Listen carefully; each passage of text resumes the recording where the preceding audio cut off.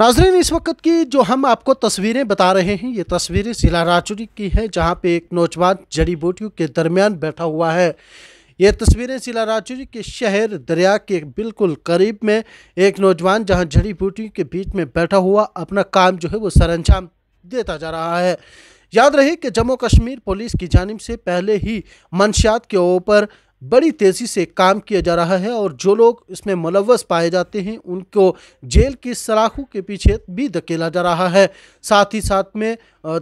नशा तस्करों के खिलाफ भी जो है वो बड़े पैमाने पर जम्मू कश्मीर पुलिस के साथ साथ राजौरी पुलिस की जानब से भी बड़े पैमाने पर इसके ऊपर काम भी किया जा रहा है।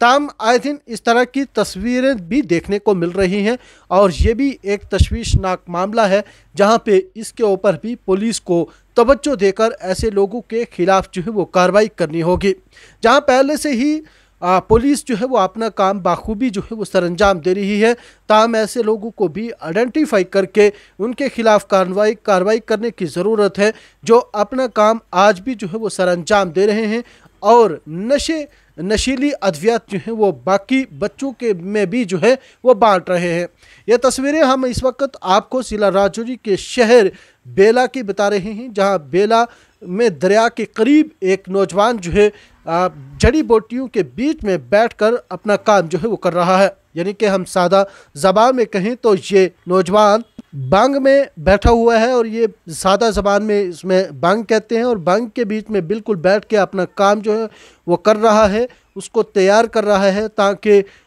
इस नशीली अद्वियात को किस तरह से फ़रोख्त किया जाए या अपने आप के लिए इस्तेमाल की जाए, ऐसी जो है वो आए दिन तस्वीरें जो है वो देखने को मिलती है। हालाँकि इससे कबल भी हम बता तो चुके हैं कि जम्मू कश्मीर पुलिस की जानब से ऐसे लोगों के ख़िलाफ़ जो है वो कार्रवाई ज़रूर की जा रही है। ताहम माशरे में भी ऐसे लोगों के ख़िलाफ़ लोगों की जानब से भी जो है वो पुलिस को इतलात जो है वो देनी चाहिए ताकि अपने मोहल्ले, अपने गाँव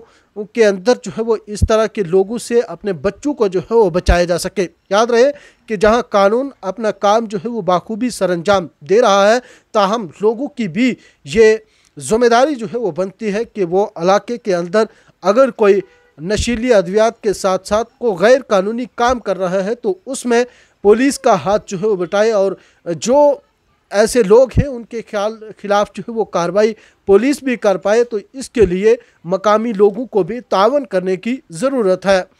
याद रहे कि ये जो आज वीडियो बनाई है, इसका मकसद यही है कि जम्मू कश्मीर पुलिस ऐसे लोगों के ख़िलाफ़ जो है वो मज़ीद शिकंजा कसे ताकि आने वाले वक्त में मज़ीद ऐसे लोगों के ऊपर शिकंजा कसा जाए ताकि जो लोग आज भी मनशियात में मुलवस हैं और छोटे बच्चों को भी मंशियात में मुलवस कर रहे हैं, उनके ख़िलाफ़ जो है वो मज़ीद कड़ा शिकंजा जो है वो कसा जाए।